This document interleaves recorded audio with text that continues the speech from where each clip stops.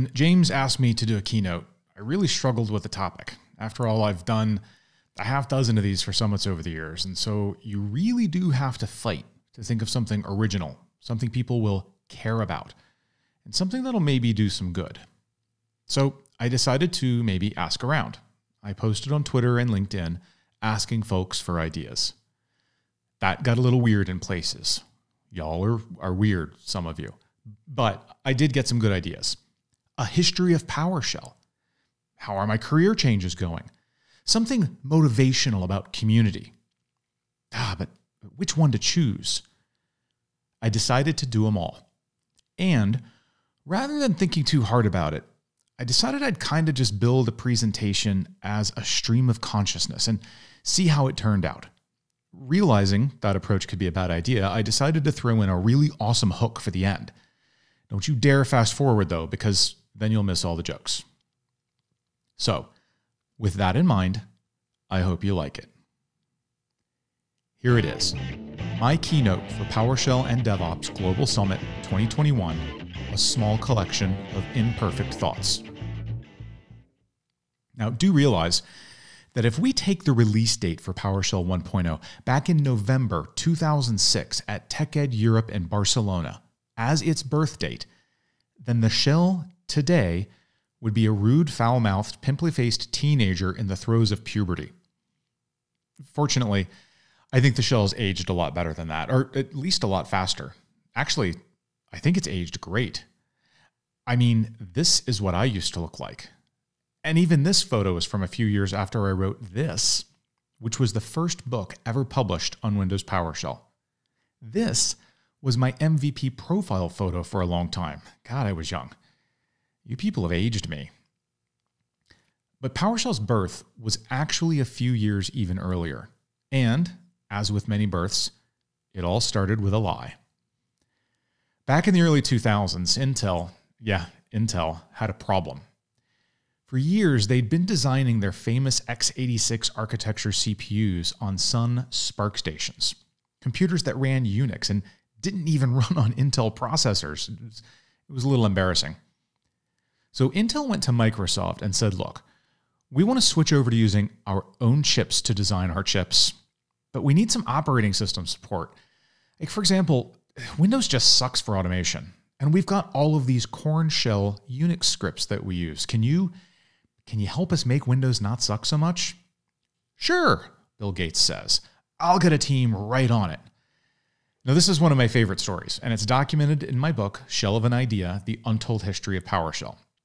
Microsoft put together a team, and they were going to produce Kermit, not the frog, basically just a port of Korn Shell to Windows so that Intel could safely switch to Windows for chip design.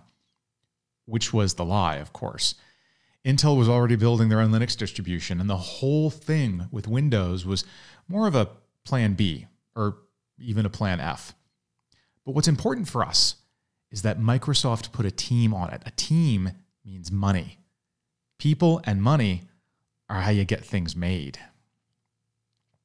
That's where this dude came in. Jeffrey Snover had already been doing some work to make Windows suck less when it came to automation.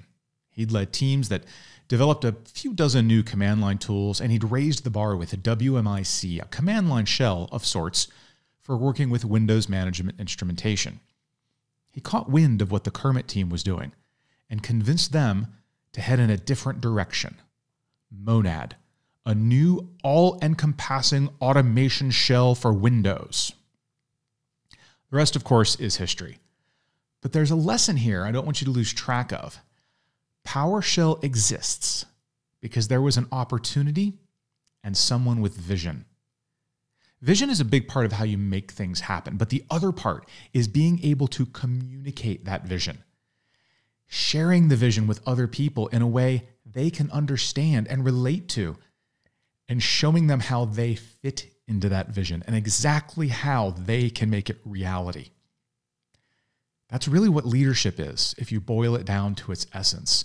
And while not all of us are going to invent a new shell or the concept of ride sharing or a new type of rocket, all of us can actually be leaders. Leadership starts by seeing a problem and being able to clearly articulate that problem. You need to be able to describe the impacts the problem has, like how much time or money are wasted because of the problem. And you need to get really specific about that. This is where I think a lot of us go wrong. For a lot of us, our statement of the problem is just something like, my job is repetitive and error prone, and something like PowerShell would be a solution. Except that problem statement might not resonate with anyone but ourselves. See, when you're communicating a problem, you can't communicate it as you see the problem. You need to get inside the heads of your audience. What do they see as the problem? How can you communicate the problem in a way that they will see it as a problem? How can you make it relatable? That's really the key to getting stuff done in the world. Once you've got the problem firmly in people's minds, you can pitch the solution. You have to do this carefully too. Your pitch needs to clearly line up to the problem. Your audience not only needs to see the problem and believe in it, they also need to see how your solution 100% aligns to that problem and solves it. Let me offer an example. This is the first part of the table of contents for Windows PowerShell TFM, the first book Jeff Hicks and I wrote when we worked at SAPIEN Technologies in 2007. We began with a bunch of random stuff about PowerShell, like providers and snap ins and variables and functions, and then it was right on to writing your first script. Yeah, seriously, why did anyone ever like this book? Look, part of the reason we wrote it this way, to be fair, is because our initial audience was all VB script people. So we wrote a PowerShell book for VB script people. Looking back at this table of contents, though, I, I still cringe. But we, we stuck in there. We created a bigger second edition and then a version 2.0 edition when V2 shipped. But then he and I stepped away from SAPIEN and honestly kind of decided not to write any more PowerShell books. Three was enough. But then something funny started to happen people kept asking for a good PowerShell book. The TFMs were getting a little old by then. And so I looked around and all the books I've, there were books on tossing people into programming right away, basically. But the people asking me for recommendations didn't want to become programmers. You see, they basically got the problem of automation being a pain in Windows, but they didn't see programming as their solution. They didn't want to be programmers. They'd stayed away from VB script because it was programming. Everyone, even me, was pitching PowerShell as a programming language, and it just wasn't a compelling solution to the audience. See, you can lead people to a solution they don't want or that they don't feel is a solution for them, but it's not going to do them any good. You can show it to them, but it's not going to help. So I sat down and thought about it. And that's where this puppy came from. The idea was to listen closely to the audience and craft a solution that fit them. They didn't want to invest years, and so I promised that in an hour a day for about a month was enough. I researched how much the average adult can read in 45 minutes and set that as my chapter length. I made sure each chapter had some hands on exercises to cement what you learned, and I didn't bring up scripting, that is, programming, at all. Leadership of any kind is all about understanding who you're trying to lead. It's about helping them see their place in the vision and where they are on the road to creating that vision. It's what Jeffrey did with the Kermit team when he hijacked them to make Monad. And it's something you can do all the time in both your personal and professional lives. You know, this brings up another interesting point. I know a lot of folks who want to contribute to the community, to, to help out in some way, but they look around and it seems like everyone is already doing all the things. There's no real place for them to help out. But that's not the right way to look at things. You see, we have a lot of different audiences in the world. They speak different languages, they come from different cultures, they have different past experiences, and those experiences kind of shape how they learn new things. They have different pressures they're under at work and different things they're trying to accomplish. They're all different audiences, in other words, and each audience needs its own special solutions that are made just for them. That's why there's room for everyone to contribute. The way you phrase something, the projects you're tackling, the examples you use, the language you speak. It's a unique and valuable combination. You don't have to bring new information into the world to be valuable. Instead, you just need to package the information that's already there for whatever audience you serve. When I wrote the first month of Lunches book, I wasn't carving out some brave new territory and releasing new information into the world. I was just packaging the information that was already in the world so that it served a particular audience. It was a, a different audience than I'd addressed with prior books, which is why it's okay to have many books on the same topic. It all matters because it's serving an audience. Now, I want to shift gears a bit because it occurs to me that I haven't talked about the damn virus yet. This is actually related, I swear. Back when Richard and Jason and Jeff and Kirk and I started PowerShell.org, we didn't set up a corporation or anything for it. We just we just kind of set it up. This was back in 2012, I think. But very quickly, we realized that we needed to run a conference because the people who ran the PowerShell team at Microsoft told us to. And so we set up PowerShell.org as a not for profit corporation. Now, look, not for profit is a statement of intent, not an actual corporate structure. We were allowed to make a profit, but we didn't really want to. But the government likes taxes, and so we'd have to pay taxes on any extra money we made. It made the first few summits a little tricky. We had to set up a fiscal year that started in November, start ticket sales after that, and then hold the summit and spend all the money before November rolled around again and we had to pay taxes it made it difficult to build something permanent because we kept having to start over every year. That's why I eventually sat down and formed the DevOps Collective. It's a bona fide legal nonprofit, which means it can accumulate money and not pay taxes. That was the start of something sustainable because we can make a little more than we needed each year and then use that to kick off the next year. It also meant that eventually we could have one or two full time employees actually running the program. And look, it's great to rely on volunteers, but having just a couple people who can do the work and support their families at the same time is how you ensure the organization doesn't die just because someone lost interest. Now, you may wonder what this has to do with COVID, and I'll tell you. The organization makes all of its money from Summit.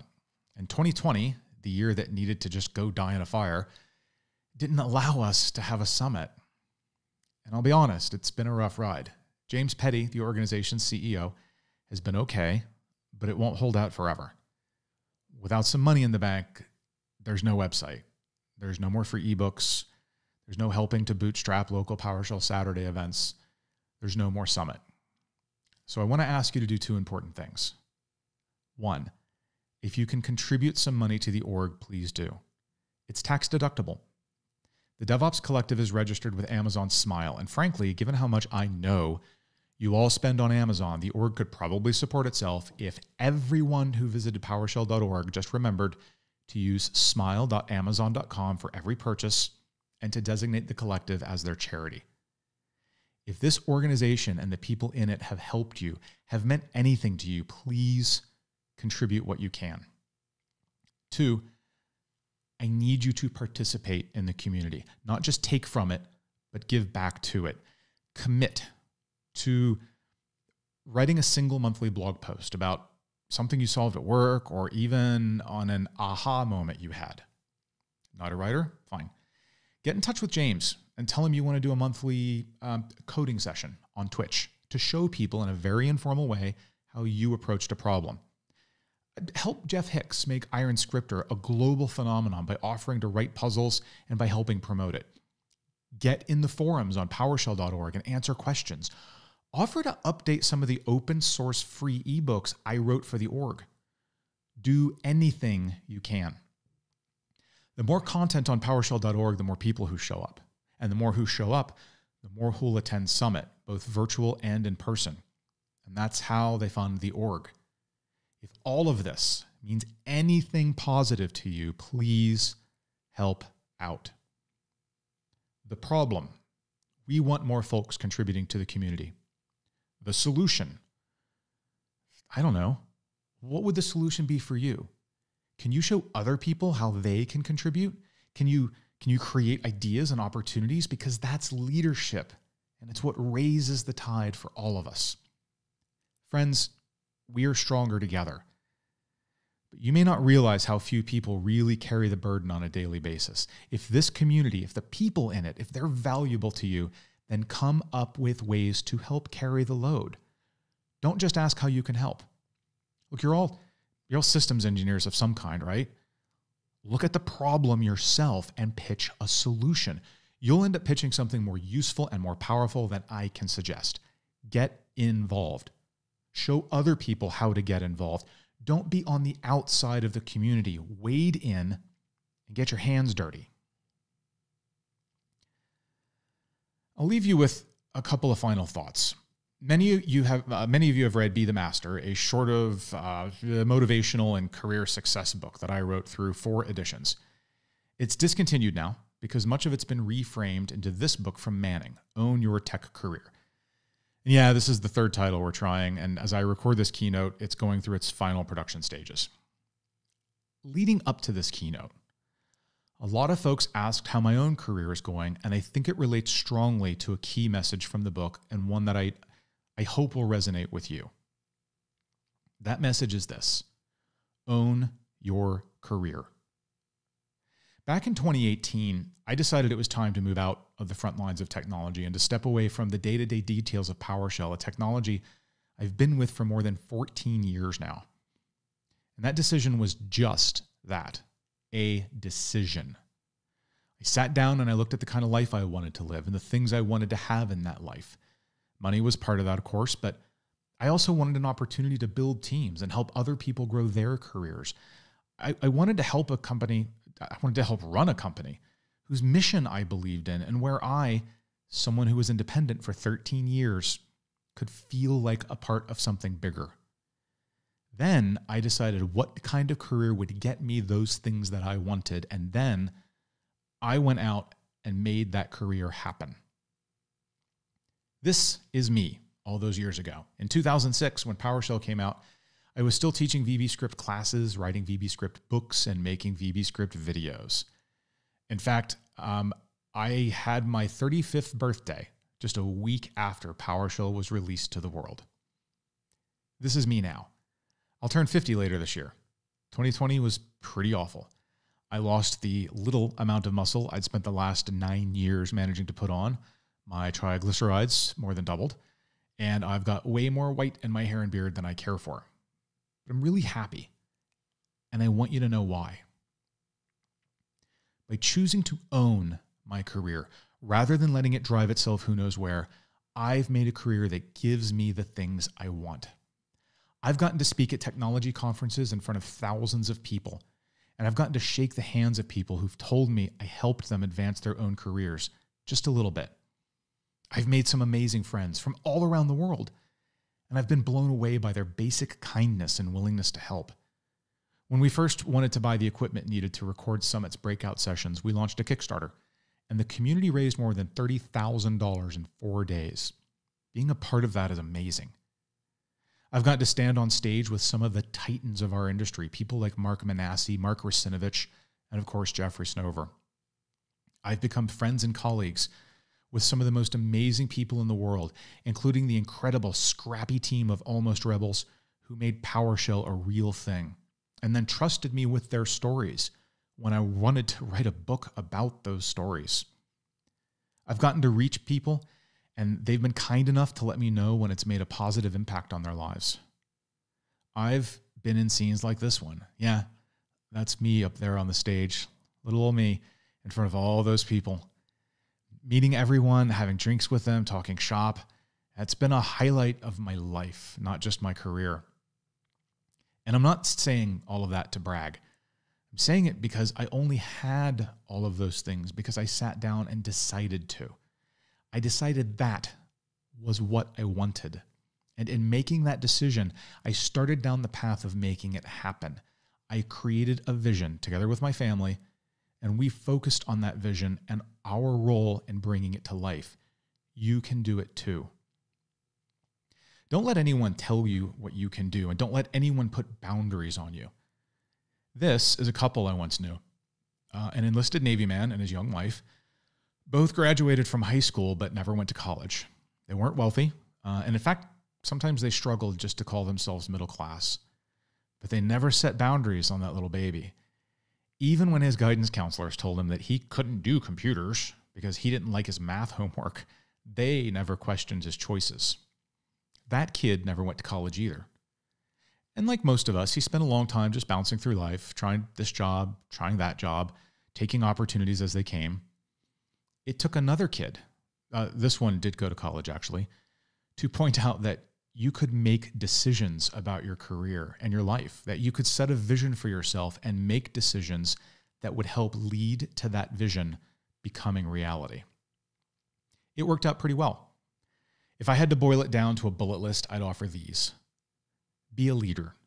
This doesn't mean you have to be in charge. Leaders pop up everywhere in life, not just at the top of an org chart. Set a vision, communicate your vision, move with purpose, and help others understand how they can help you achieve the vision. Don't be an island. Find your community and dive in. The more you help others, the more you will find others helping you. Our entire world would be a better place if we left our differences at home and just went outside to help each other. Own your life. Don't be a passenger in life, be a driver. Don't just let things happen to you, make them happen for you. I promise you can do it. If we were at a live summit right now, I'd tell you to look around the room because this is your community. And I know you can't do that right now, but I want you to imagine it because it's real. Thank you so much for listening. I hope this was at least a little fun, if not actually actionable. Uh, please keep in touch. You can reach me on my website or Twitter or on LinkedIn. And if you'd like to see another side of my work, I've recently been writing some well received fantasy and science fiction novels that might be worth your consideration. And now, for the moment you've all been waiting for. These URLs are only good through the 15th of May, 2021. You're welcome to share them. You've got $5 off the minimum price for the Shell of an Idea ebook, which means the minimum price is just 20 bucks, but you can still pay whatever you think I'm worth. And for those who'd really love to show their support, you can get a limited edition hardcover. Again, all of this goes offline on the 15th of May, 2021, so don't procrastinate. Thanks again for listening, and until next time, I'm Don Jones.